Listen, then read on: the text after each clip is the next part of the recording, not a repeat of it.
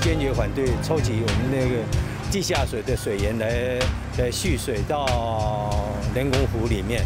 政府为了开发，为了工业区，而去牺牲掉农业，这是很悲哀的事。台湾的粮食自给率只有三成，政府永远不会正视三成这个问题。你花了那么多钱，然后你牺牲了这么多的农田，然后你每天只能取水十万吨。有那么多的替代方案，你都不要做，你只是要花钱做这个大开发案，这是违反逻辑的。我们是觉得很奇怪，那水利署的专家，我们纳税给水利署的专家，那他们设计出来的，竟然是在危害我们自己这边生计。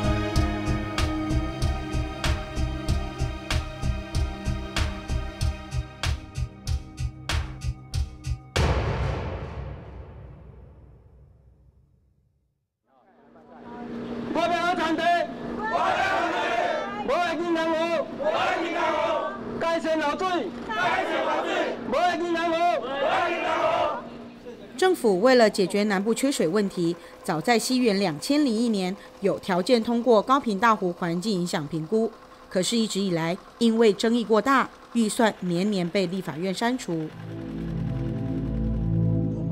八八水灾之后，经济部水利署利用增文南化乌山头水库治理及稳定南部地区供水特别条例的稳定南部地区供水计划，重提一百六十一亿预算，让高坪大湖败部复活。等一下，一点半在环保署有一个高频大湖的呃审查会。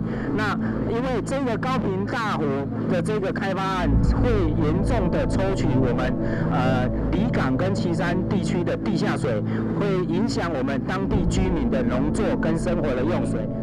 二零一二年十月三十日，高频大湖开发案在环保署进行环境现况差异分析报告审查。场外聚集了上百位抗议农民，场内则进行热烈的讨论。今仔日，阮这农民，阮这种毛豆的，都是大家一律都是强烈反对。你进自这个物件甲开发落，啊，规地甲挖了了，啊，我这个附近拢无法度人生存，搁再种着这个这样好、这样品质这样好的毛豆，会当来外销。我们会跟农粮署来做合作，来协调。来让农民取得避免的这个土地，在这个部分的损失，那未来我们计划实施的话，可能要是要提出必要的这个补偿，这个是需要去做关怀的。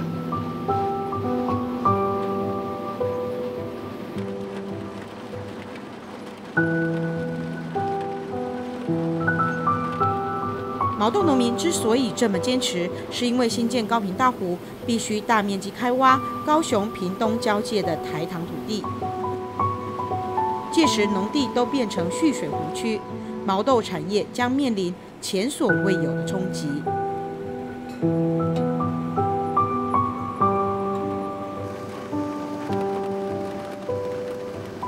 眼前这片广大的毛豆田，便利的地下水灌溉系统位于完整方正的台糖土地上。不过，明年还能不能看到绿意、听到水声，就很难说了，因为这里。就是高频大湖开发案的预定地。九十三年吼，啊，大塘吼，这基山厂关厂起来吼，啊，迄个时阵我就开始落来遮来租地。啊，租地是因阵啊来吼，地就是拢芒啊、田、草啊、布规大堆，拢种规个拢种，咱无人爱的地啦。啊，我就一年一年来整理，整理甲真安尼有这样清气的环境安尼吼，来种这样好的毛豆出来安尼。就两千零二年开始来这边种植毛豆，来的时候台浪的土地就是比较贫瘠，然后有一些需要重新规划，就慢慢规划，然后整个灌溉设施跟排水系统，还有整个土壤的改善，那也花了六七年的时间才整个呃比较上手。在这片高雄与屏东交界的土地上。陈荣华、和赵柏各拥有两百五十公顷和两百一十公顷的毛豆田。像他们这样的毛豆农民，总耕种面积高达两千六百五十五公顷。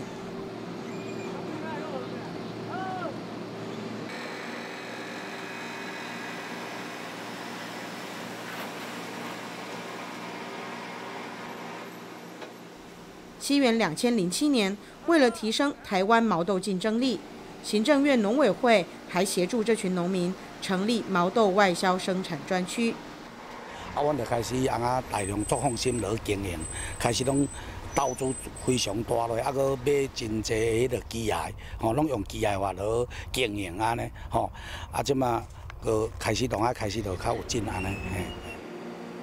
其实整体来讲，土地的话是我们去适应它，气候也是我们去适应它。我们只是说在这片土地上种的时间久了，然后抓得到这个环境。然后了解这边的土壤、这边的气候，在我们在最适当的时机出手下去播种。哦，咱种伫遮，啊土地宽，啊农场地，啊咱去经营的是大片，啊降低成本，啊过来就是讲这下早时啊，你问看下早时啊五六点的时候，迄个雾拢足重，啊雾重的时豆啊突然就会青脆，吼啊青脆伊的甜度就会甜，吼啊过来就是讲伊这水源也好。啊，去烧水也好，你甲饮落，你今仔饮啊淡落落，明仔载你来看，规个水已经拢切掉去啊！吼，这就是上优势，就是这个地下环境地理就是好伫遮呢。宽阔的农地平整方正，利于机械化耕作。秋冬晨雾露水，可增加毛豆甜度与口感。地下水充沛，土壤排水性佳，也能满足毛豆既需要水。又不能久浸的生长特性，就赞了呀！那你种偌久啊？这今天六十六十六天，六十七，好嘞，来。啊，这个就是要外销到日本。日本的，对，这个都是啊，你看都品质很好，你看。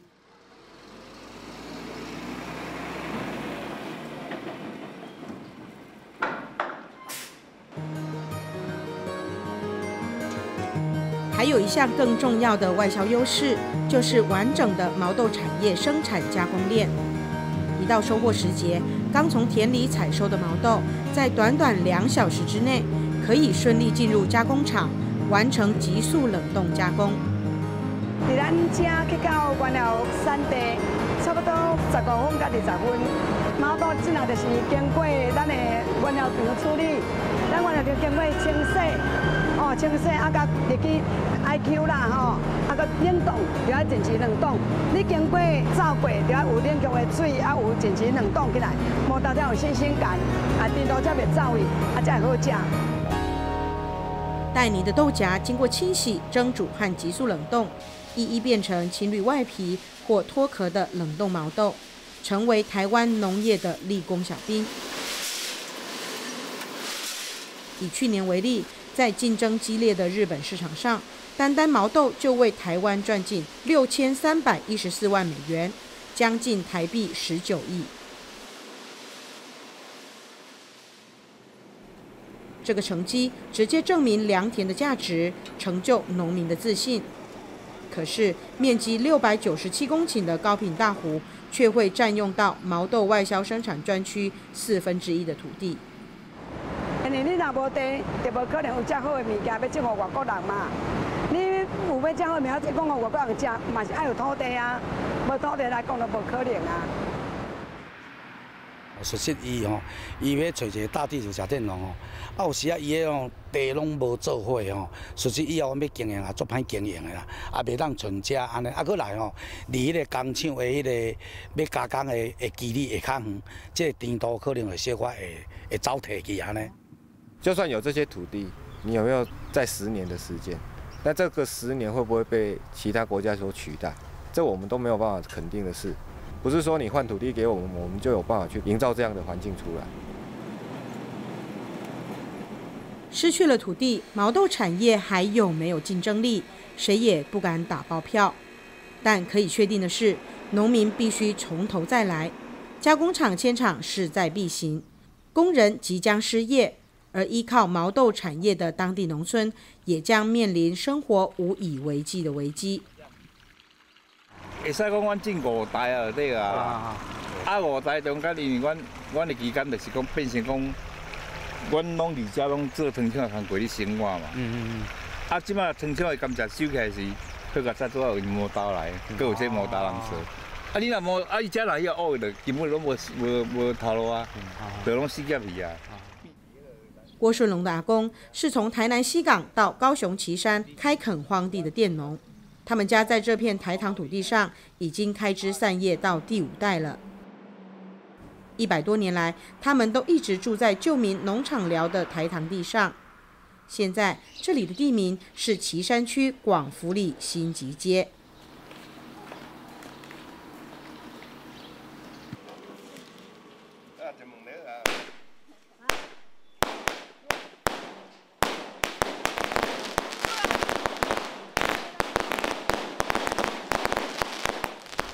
因为今天是我们康虎千岁啊，今天他是他的生日，所以我们所有家族的人，还有旁边朋友都会来跟跟他参拜。康府千岁是从台南七股请来的神明，当年许多台南人初来乍到，也会把祖居地的信仰一起带来高雄。时间一久，到现在，康府千岁也跟着农民的脚步一起定居下来了。阮阿公一直七股。啊，好请倒来安尼。哦，啊，为什么会请倒来遮？因为阮就是算讲移居来这边定居啊。阮阿公因来移居来这边定居，因迄种遮地，我会记阮阿公因甲阮讲是是两百多家，可是要政府政府啊回收走了以后，我拢总无去。啊，靠，阮个啊台糖租地，阮遮是较早来种金蕉，啊，伊台糖的是拢种甘蔗。我有是有听到了哈，说可能挖人工河的时候，我们那个村庄会挖到二十几户嘛。小孩子外面又不好，啊，跑回来这里都好哦，做那个工作有一些那个生活费的话，啊，你这个把它弄掉，变成没有了啊。其实这个这个事情哦，他们上面哦都没有在注重这个事情。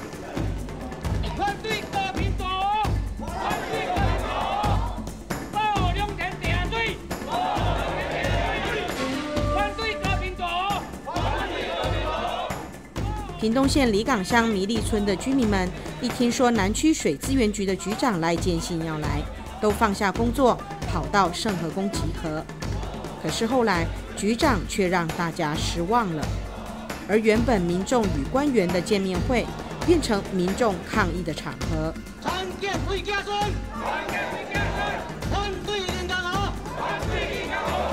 当时我们在场，我们提出说，好像都没有到我们当地民利村这边来做一个大型的一个说明会，啊，尤尤其这几年呢，当然如果说九十四年之前他还过有来过一次，但整个因为八八风灾改变这么大，所以整个那个环境变迁很大，那之后他都没有来到这边来做一个说明，因为毕竟我们民利村是最接近那个人工湖了，我们最近那个民宅到人工湖只有五十公尺而已啊。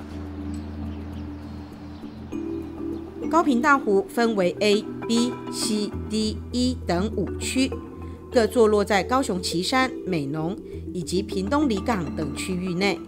全区湖深平均十二公尺，满水面积五百九十公顷，总容量六千五百万吨，预计每天可供水三十四万吨。目前规划的第一期开挖目标是位于里港乡的一区，水源引自甲仙堰雨水。其余四区的水源则由未来老农溪的高美堰提供。不过，这美好的愿景却让住在一区旁的迷利村居民个个忧心忡忡。基山溪嘛，啊，阮厝后就是啊，个除了嗰只只十河啊，哦，啊了后个迄迄个基山溪，或者迄个堤防，啊，那么一条溪线呢，那拄着咧咧咧做洪台咧落大雨时，水拢会会中大，啊中大时伊还有做迄水闸门甲甲炸开。啊，加早起来咧，阮因阮上游的水流落来，啊，即摆水流袂起哩，阮这水位会升高，会水拢会因为阮阮种来入来。弥利村是高平大湖预定地上地势最低的区域，平日只要下大雨，岐山溪堤防上的治水闸门就会关闭，雨水有进没有出，这也让弥利村一直苦于淹水问题。村民认为，高平大湖的一区新建后，将近两百公顷的硬体设施会让农地失去制洪功能。弥利村的淹水噩梦将一年比一年更加严重。阮上游平时啊落西北雨，做大水流落来水啊，表示堤防啊流落来水水塞袂是伊的积水地，这三百个三角，这水要走滴落去。第一最最大影响就是泛滥啦。哦，他把这边的它这人工湖主体嘛，啊对不对？我们这边自然的排水系统啊，排水情况啊，就影响到这边呐。哦，水没有地方排啊，那就是就往我们乡村这边呐。哦，啊这边的话就以此就泛滥了。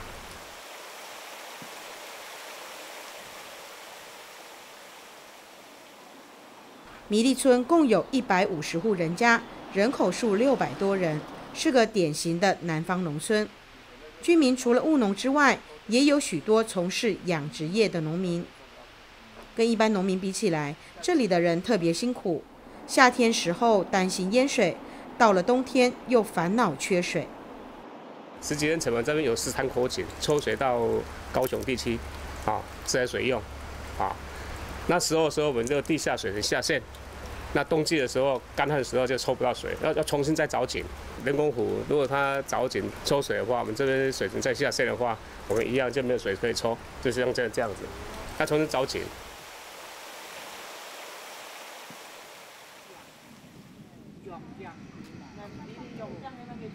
住在米利村北方两三公里的旗山区居民，对自来水公司深水井造成的环境影响感受更是强烈。因为深水井就坐落在他们的村子里，全台湾大概就只有我们这一个里，一个里有打了十三口大井，然后供应给那个大高雄地区、冈山地区的用水。哦，那从那个时候开始呢，我们的水水位就差很多了。大家本庄人，大家都反对，哦，按都这个盐盐公安的一个水源干涉的安全。秋位于，因为那个沉降同安储水，储外，啊那个水渗透到它那边去了。大井出现前，地面下七八公尺就能抽到水，可是开凿大井后，往往挖到五六十公尺，都还看不到水的踪影。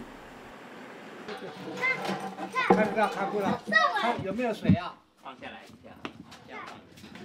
古德福家里使用的地下水。也是一凿再凿，凿了四口井才找到水源。第一摆大概都差唔多都两床人了。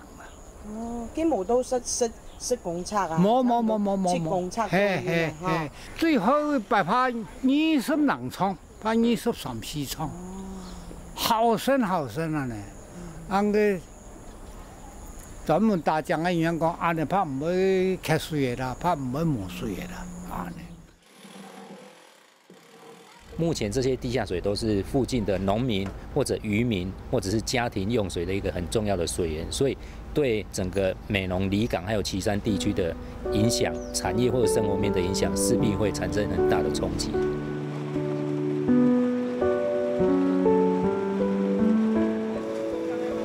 年十一月正是采收二期毛豆的季节，收割机发出轰隆隆的声响，忙碌的在田里工作。白鹭鸶在天空缓缓翱翔，等收割季一过，马上降落找虫吃。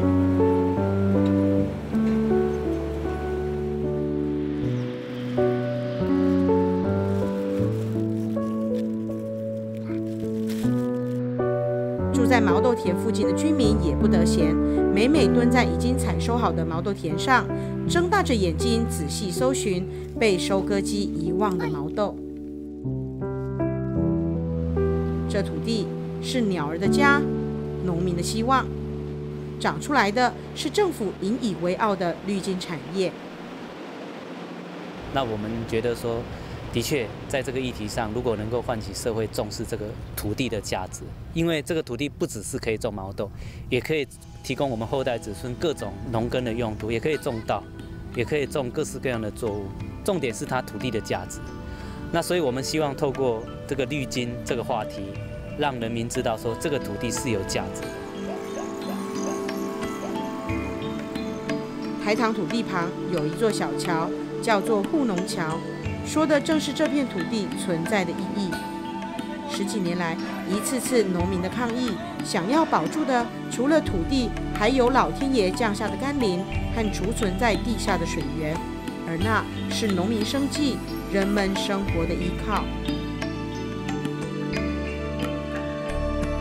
高频大湖一旦开挖，土石运走了，水源消失了，这场开发案会不会让你我也跟着水土不服呢？